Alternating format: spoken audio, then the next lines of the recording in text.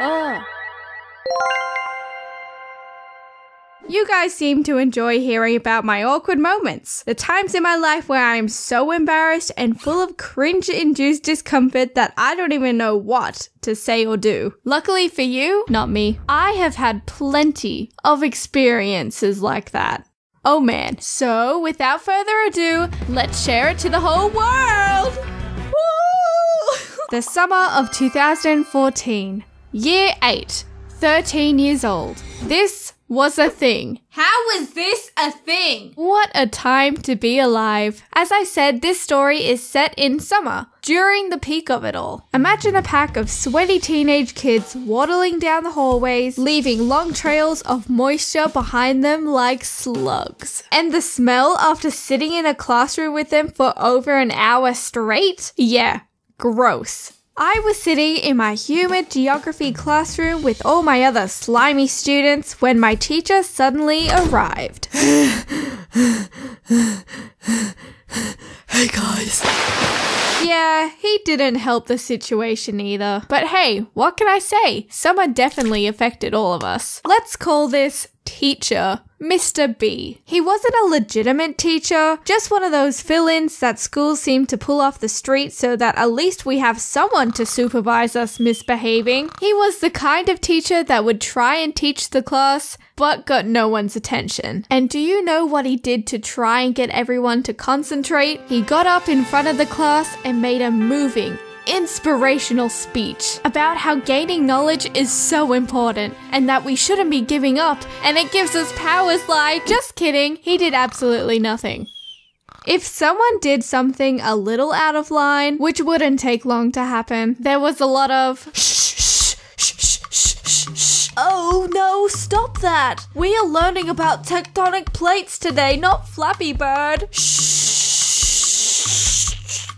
Hey, sir, do you want to have a go? Oh, yeah, why not? He just didn't have any good skills in controlling a class, and with that, I learned nothing. also, quick side note, real quick, that is unrelated to the story. It was his birthday on this particular day, and he played It's My Birthday on the big screen and danced to it in front of the whole class. Oh my god, my eyes. Now, let me paint you this picture. Not that one, this one. Now let's just paint inside the lines and crap joke. I was sitting at the back of the classroom with my friend. Let's call her Angel. I had another friend in the middle here. Let's say her name is Caitlin. And there were these two boys at the front on the left hand side. See this one? Not really important. Get out of here! But this guy, well, he's one that made this story a thing. So he's pretty important. Let's call him Derrek. So Angel, Caitlin, and I were writing notes on pieces of paper and chucking them across the room to each other. All the while, Mr. B sat at his desk and was probably watching a fly crawl past, or watching us throw notes and not even realizing that we should be doing something else. Honestly, who knows with this guy? Who hired him? So, in general, there was nothing crazy about these letters to begin with. Just the normal, hey, how are you? Are you doing anything this weekend? And a lot of you smells. 10 out of 10 roasting. OMG, she said I smell. I have to come up with a better comeback. How about. Uh. What was that? No idea, but that was so annoying. Angel went to throw this message, but somehow her aim was completely out of whack. Because of this, the paper seemed to fly with its own trajectory, landing in front of the two boys I mentioned earlier. Get out of here, you idiot! Yeah, they were obviously confused to find a message, you smell more. Bruh, we never said you smelt. Yeah, we don't smell either. You sure, brother? So now Derrek and his sidekick were now involved in this friendly conversation. Now let's fast forward a bit because literally nothing exciting happens until this freshly ripped piece of paper enters the chat and was ready to cause mayhem.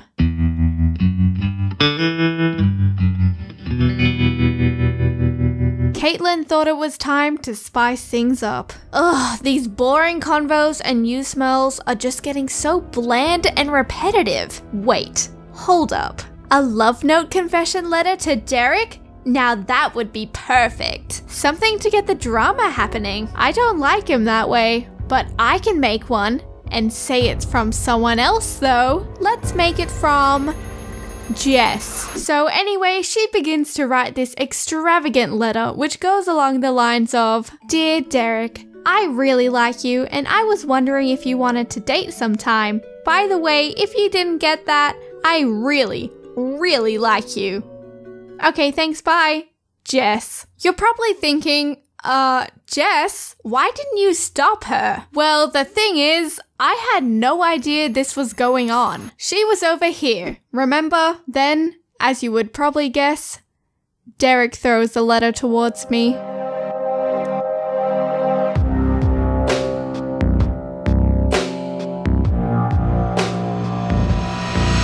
The bell rang and we had to move on to the next class. I just stuffed his letter in my pocket thinking that it wasn't really important and that I could just read it later. Next class. Not important. The bell rings, signaling that school has finished for the day. So there was Derrek and a couple of his friends waiting around for the bus to arrive. Uh, uh, hey, my bus is here. I'll see you guys tomorrow. And then there was this girl who was sitting near Caitlin in geography. She goes to me like, Hey Jess, you realize Caitlin made a love letter from you and, uh, sent it to Derrek.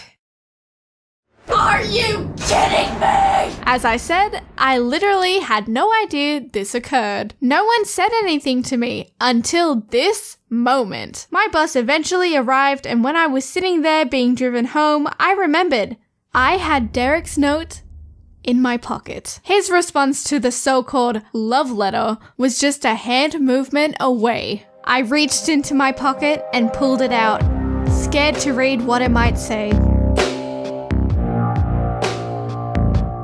Gulp. It went along the lines of this. Dear Jess, I am honestly so flattered that you feel that way, but unfortunately, I don't think I'm ready to jump into a relationship. My last relationship at my last school didn't go so great, and I kind of want to stay away from that type of thing for a while. I hope you understand. This definitely doesn't mean we can't still be friends. I think you're a cool gal. Derrek.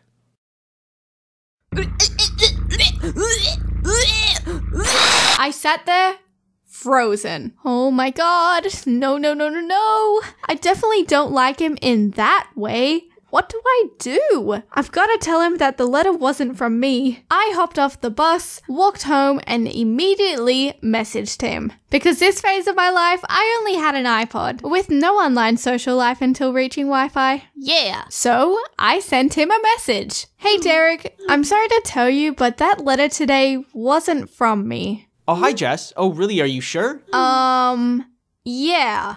Well, anyway, don't worry. Your secret is kept safe with me. Um, what? Why can't you just get the message? But seriously, that letter wasn't from me. So after that whole occurrence, nothing was really said. I was hoping he would get the idea that I wasn't into him like that and we would move on. Fast forward again. This time a whole year into the future. Remember that friend I said wasn't important? Get out of here. Well, now he is. Let's call him Joe. Who's Joe?